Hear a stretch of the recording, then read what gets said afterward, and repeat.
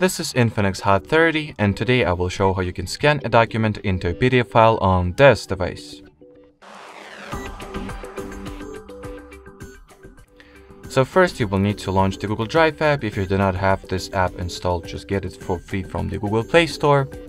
Then tap this plus icon to your bottom right, choose the scan option from the list, and then take a photo of your respective document. Then continue.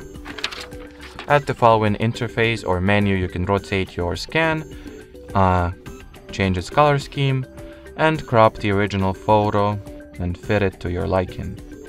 Then save the result, give it a few seconds to be uploaded to Google Drive, and here you have it. So that will be it for this video. Thanks for watching, thanks for your attention, and bye bye.